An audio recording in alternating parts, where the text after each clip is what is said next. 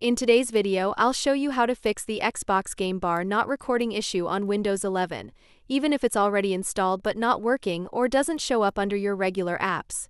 Let's jump right in. Sometimes Xbox Game Bar doesn't appear in installed apps because it's considered a system component. Here's how to find it. Go to Settings, then Apps, then Installed Apps, then System Components. Scroll down and look for Xbox Game Bar. If you find it, continue to the next step. Once you've located the Xbox Game Bar, do this. Click on Xbox Game Bar. Select Advanced Options. Click Repair. If that doesn't work, click Reset. Then restart your computer.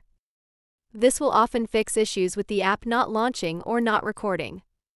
Make sure Game Bar is actually turned on. Go to Settings.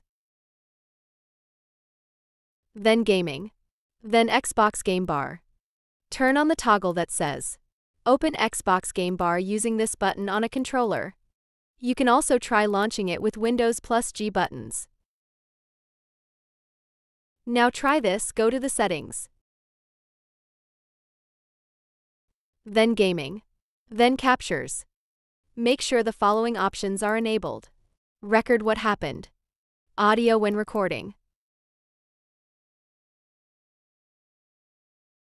Outdated GPU drivers can also cause recording to fail.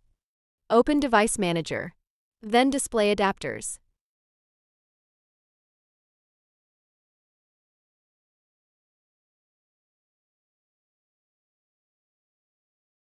Right-click your GPU. Then update driver or visit the official site for Intel, AMD, or NVIDIA and install the latest version. And that's it. One of these methods should get your Xbox Game Bar recording again in Windows 11. If it worked for you, let me know in the comments.